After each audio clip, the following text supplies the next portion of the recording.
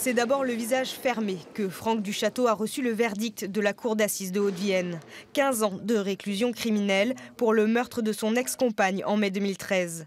Celui qui n'a montré que peu d'émotions tout au long des cinq jours de procès a finalement laissé s'échapper quelques larmes. C'est une peine très lourde, certes euh, qui est acceptable pour euh, les parties civiles, mais qui est très lourde pour notre client qui a toujours euh, clamé son innocence en indiquant qu'il n'avait pas tiré de coup de feu sur, sur son ex-compagne et, qu'il ne se rappelait de rien. il y avait beaucoup de doutes dans ce dossier. C'est la raison pour laquelle nous avions plaidé l'acquittement. Nous n'avons pas été entendus sur ce point, mais nous avons été entendus sur la circonstance aggravante de la préméditation qui n'a pas été retenue par les jurés.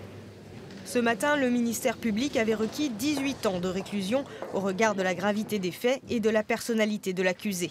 La famille de la victime attendait donc une peine plus importante. La page sera difficile à tourner. Il faut faire euh, le deuil de Madame Béron, à la fois pour euh, ses parents, pour euh, sa sœur, son beau-frère, mais aussi son fils.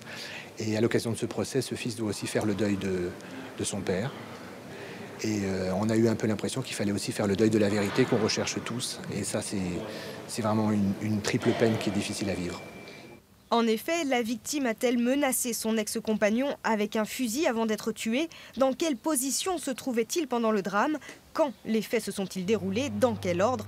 Le procès laisse derrière lui beaucoup d'interrogations qui resteront sans réponse.